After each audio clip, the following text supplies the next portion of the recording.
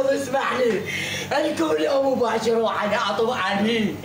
هذا يا ابويا فرس دخل عزيزتي والكم كدسي لم يجد هذا الرجل النجفي المفجوع بوفاة شريكة حياته سوى الصراخ بحرقة على الخطأ الطبي الذي تسبب برحيلها فعملية شفط للدهون اعتيادية أجريت بمستشفى أهلي حولت زوجته إلى جثة هامدة.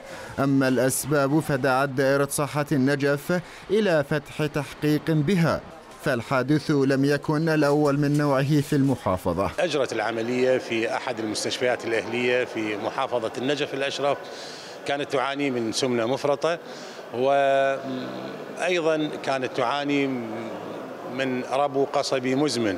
أثناء العملية وبعدها حدثت مضاعفات للمتوفاه قررنا في دائرة صحة النجف بتشكيل لجنة تحقيقية من أطباء ومتخصصين للوصول إلى أسباب وفاة هذه المريضة.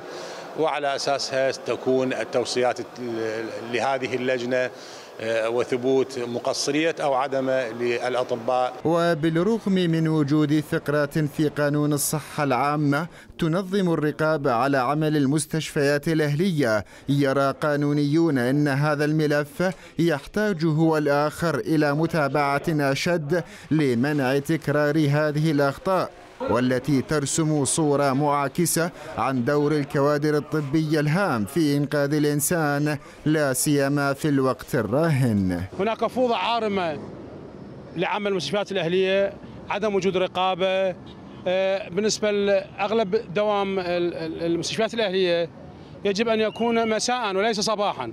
حتى لا يكون هناك ازدواج في العمل وأن يقوم بعض الأطباء بترك عملهم في المستشفيات الحكومية ويذهبون باتجاه المستشفيات الأهلية. هناك إهمال وتقصير في القطاع الصحي وخاصة المراتب العليا بالنسبة للوزير ووكلاء الوزارات. وقد تعيد وفاة زوجة الرجل النجفي فتح ملف الأخطاء الطبية التي تتكرر بين الحين والآخر والتي كانت في أغلبها تنتهي بالمراضات العشائرية.